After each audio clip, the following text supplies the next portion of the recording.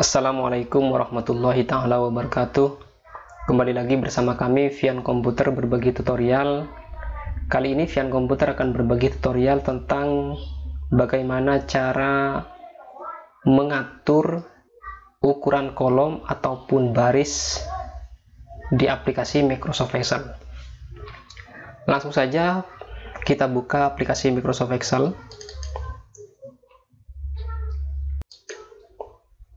Kali ini saya akan memberitahukan bagaimana cara untuk merubah ataupun mengatur ukuran kolom ataupun baris ketika kita membuat tabel di aplikasi Microsoft Excel.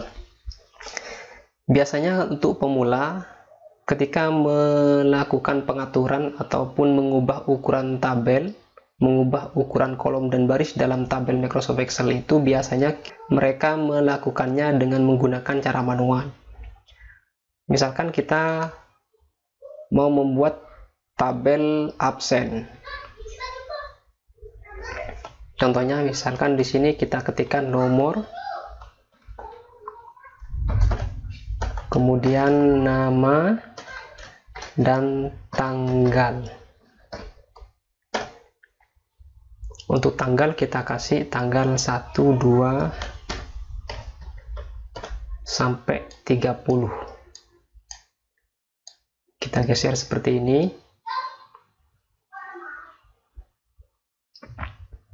Sampai tanggal 30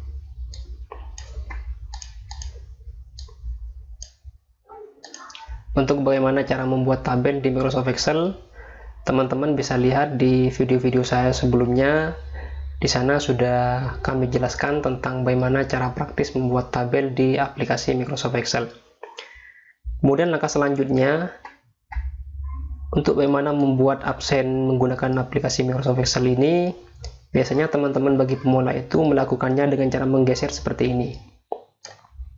Jadi untuk kolom nama dilebarkan dengan digeser, kemudian untuk kolom tanggal ini digeser satu-satu seperti ini. Satu-satu digeser seperti ini. Sampai sebanyak jumlah tanggal yang ada. Karena di sini ada 30 tanggal maka digeser satu-satu sampai 30 kolom. Digeser seperti ini sampai pada tanggal terakhir yaitu tanggal 30 yang mana biasanya hal ini akan mengakibatkan ketidakserasian ataupun ketidakrapian daripada kolom ataupun ukuran kolom yang kita buat. Caranya bagaimana agar supaya ini bisa rapi hasilnya dan tanpa harus kita melakukan penggeseran manual satu-satu caranya bagaimana? Caranya yaitu maka yang pertama yaitu kita blok. Cara bloknya kita blok mulai dari posisi paling atas sampai kursor itu berubah menjadi tanda panah hitam ke bawah seperti ini. Kalau sudah kita tekan. Kemudian kita geser seperti ini sampai tanggal 30 karena kita mau merubah kolom sampai tanggal 30 kalau sudah kita klik kanan juga di sini. Kemudian kita cari kolom width. Kolom width di sini kita klik. Kalau sudah kita ketemu dengan kolom width kemudian kolom width ini diisikan sesuai dengan yang kita inginkan. Misalkan kita isikan 5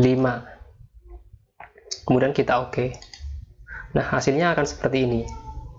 Kalau misalkan masih kurang kecil kita klik kanan lagi kemudian kita ubah kolomnya. Kita isikan dua misalkan seperti ini. Kemudian kita oke. Okay. nah hasilnya seperti ini. Hasilnya akan menjadi rapi dan tanpa kita harus melakukan penggeseran satu persatu sebagaimana yang kita lakukan sebelum kita mengetahui bagaimana caranya untuk merubah ukuran kolom itu secara otomatis dan hasilnya rapi.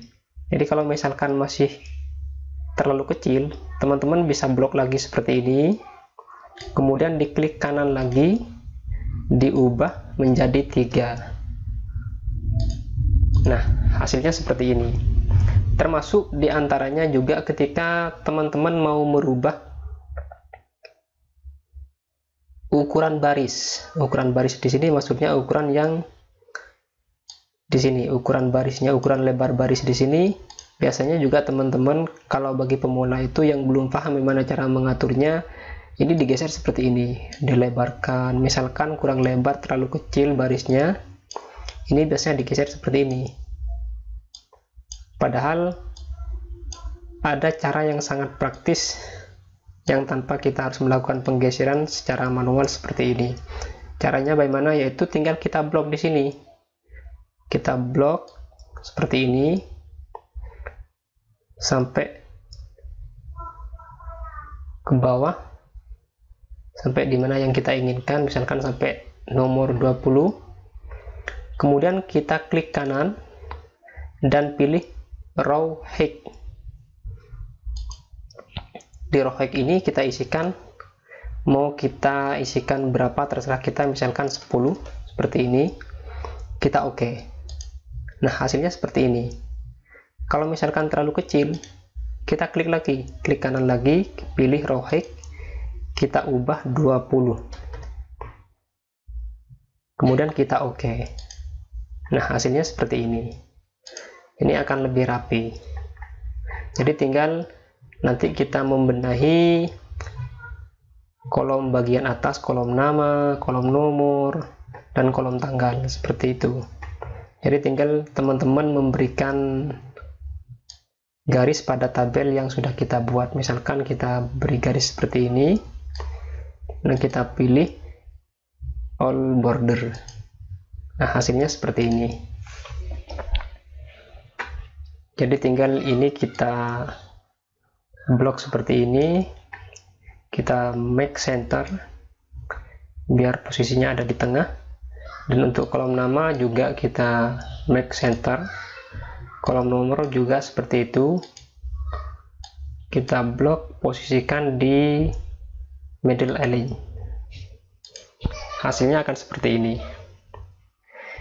Jadi begitulah cara bagaimana untuk merubah ataupun mengatur ukuran kolom dan baris di aplikasi Microsoft Excel.